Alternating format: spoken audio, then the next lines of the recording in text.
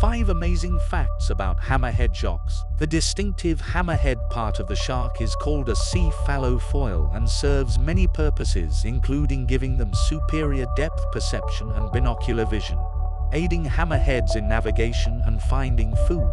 The position of one eye at each end of their head allows them to see everything around them all the time. This particularity does also come with a blind spot, right in front of them, and divers have observed small fish hiding right in front of a hammerhead's nose. Hammerheads will use their head to ram and pin down prey, tiring them out and making them easier to eat.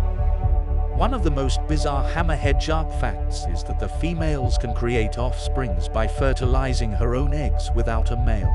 This is called parthenogenesis. Baby hammerheads are called pups, and a female will be pregnant for 8 to 10 months before having up to 50 pups at once. Hammerheads love to hang out in shallow waters, and as a result, some species have actually developed the ability to tan. And the best thing about it is they are at no risk of skin cancer. Further study of how they can tan without getting cancer may be critical in uncovering how to prevent and treat melanoma in humans. Hammerheads love to travel in groups. At night, they will often split up into smaller groups or go solo.